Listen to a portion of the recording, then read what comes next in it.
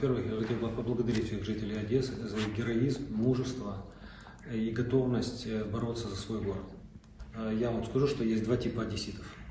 Есть одесситы, которые... э, Есть одесситы рассеянные, есть сосредоточенные. Рассеянные одесситы – это те одесситы, которые живут по всему миру. Сосредоточенные – те, кто, те, кто сегодня находится в Одессе. Так вот, обращаясь и к рассеянным, и сосредоточенным, хочу сказать, что Одесса – лучший город в мире. Э, Мы все любим Одессу с момента нашего рождения. У нас прекрасные песни, которые мы с детства знаем, и эти слова этих песен, э, все песни, э, они наполнены с таким содержанием, которое живет у нас здесь в сердце. Мы часто говорим о том, что не мы живем в Одессе, Одесса живет в нас во всех.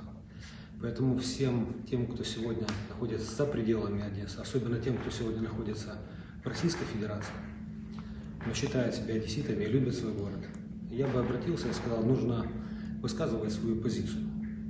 И им хотел бы сказать, что сегодня родные и близкие, те, кто уехал, находятся здесь. И вы можете получать от них правду о том, как атакуют наш город.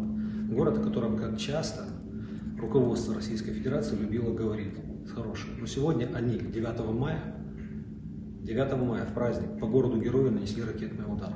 Вот это любовь, вот это проявление братства к нашему народу. Нет никакого братства. Поэтому будьте смелей, говорите открыто, рассказывайте людям правду. Одесса будет стоять, Одесса город-герой, Одесса не допустит оккупации. Мы будем сражаться за каждую нашу улицу. Мы готовы. Но сегодня объединение одесситов, объединиться для нас очень важно, потому что это поможет нам всем вместе, ну и, может быть, даже откажутся от своих коварных планов, когда увидят силу, мощь, дух одесситов, тех, кто хочет захватить наш город.